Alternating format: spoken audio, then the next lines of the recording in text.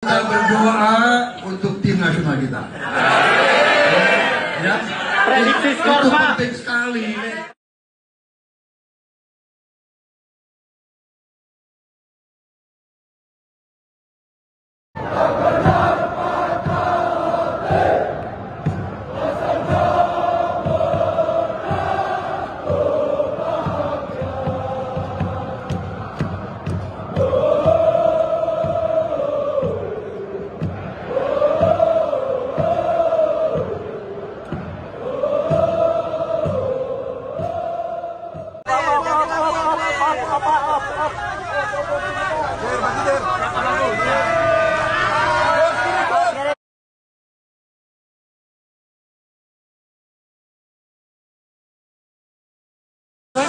Adalah penting sekali besok tim nasional kita U23 ya di Doha akan melawan Korea Selatan.